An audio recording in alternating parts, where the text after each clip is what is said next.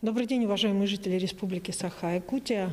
Текущая санитарно-эпидемиологическая ситуация в регионе остается напряженной. За последние сутки выявлено 120 новых случаев новой коронавирусной инфекции.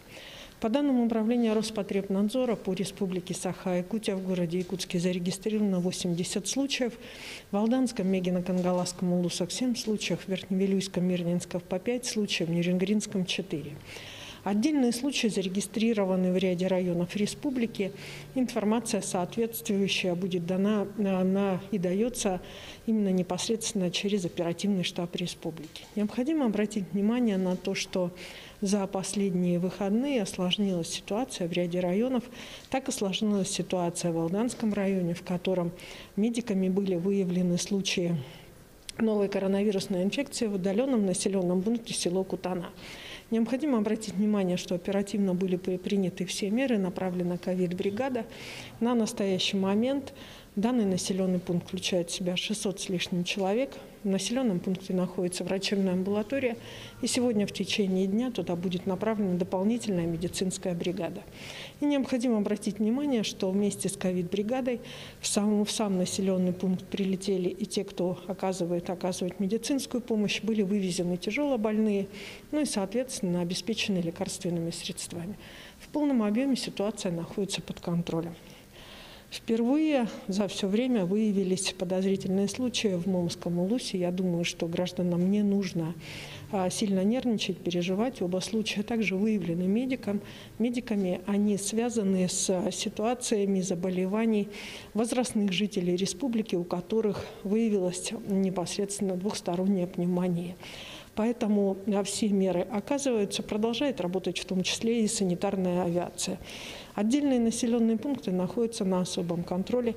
Так на контроле находится ситуация в Нижнем Бестяхе, так как в таком вот центре, а значит, на таком транспортном центре развязки Республики Саха-Якутия, в котором значит, на прошлой неделе мы закончили увеличение количества коек и, соответственно, по информации главного врача Мигино-Кангаласской центральной больницы, достаточно четко идет отслеживание амбулаторных больных. Ну и, конечно же, все больные, где бы они ни находились, от Аймикония до Якутска, все мы им сегодня желаем выздоровления. За а, сутки у нас работала непосредственно значит, лаборатории, а в выходные дни все лаборатории работали. Было проведено 4 тысячи исследований. Ну и сегодня у нас порядка 530 тысяч тестов вообще в целом по республике проведено.